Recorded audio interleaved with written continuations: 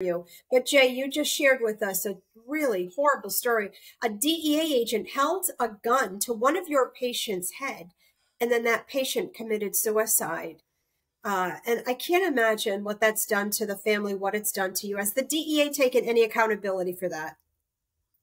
No, they have not. And that's very concerning because not only did the DEA fail to document the death properly, but on the patient's death certificate, it stated accident.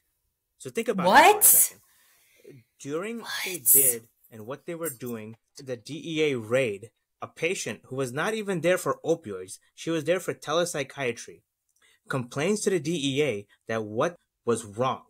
The DEA agent, in frustration, tells the patient, lie down. When oh she doesn't oh stop gosh. talking, takes the gun and points it at her.